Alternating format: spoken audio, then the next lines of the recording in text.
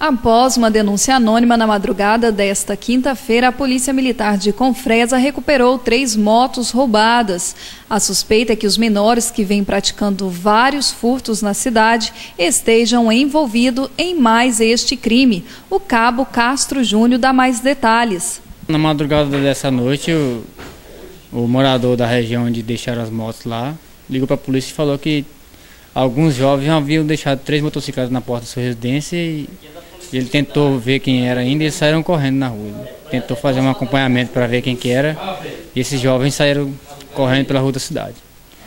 Aí nós fomos até o local, deparamos com, com as motocicletas de fato e realmente esses jovens furtaram essas motos na noite de ontem.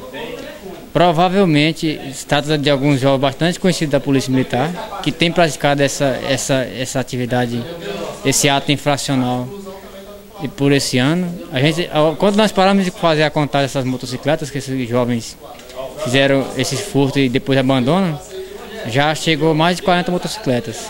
Infelizmente, a gente pega esse jovem, faz a apreensão dele, encaminha para a delegacia, a delegacia não pode fazer procedimento para tratar de menor e ele volta para as ruas e continua praticando o mesmo tipo de delito. Já existia registro referente ao, aos furtos dessas motos?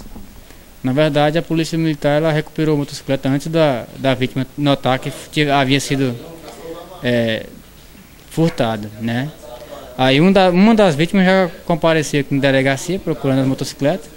Nós informamos que havia sido recuperada, já está na, na, na delegacia de polícia civil. Ele desceu para lá para poder ser ressarcido do seu bem. É crescente o número de roubos e furtos de motocicletas em Confresa, mas a Polícia Militar rapidamente dá uma resposta à população no combate a este tipo de crime.